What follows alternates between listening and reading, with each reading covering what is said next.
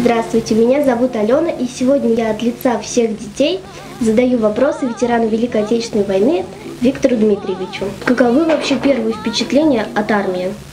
От армии? Ну, армия, она дисциплинирует людей.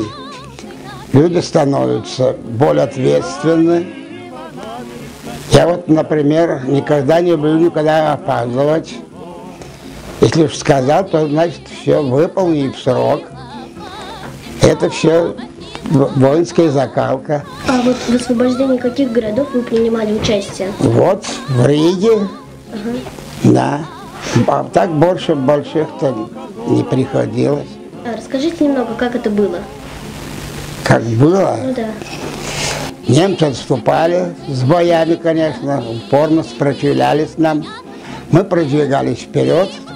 И когда вышли к, к городу Риге, за нее тоже была, как говорится, битва очень жестокая, потому что это все-таки центр большой, областной, вернее, республиканский. Она разделяется рекой. Первую половину мы взяли, форсировали реку. Мост через нее был взорван. Мы форсировали кто как мог. А потом, значит, начался бой за вторую половину Риги. Я там был ранен осколком мины в ногу. Он до сих пор у меня здесь вот. И поэтому нога-то уже у меня сейчас не ходит. Расскажите, пожалуйста, что такое война вообще? Война? Война это страшная вещь. Страшнее войны ничего не бывает. Вот кино смотришь, война, это все-таки кино. А фактически-то мы идем на врага, враг на нас.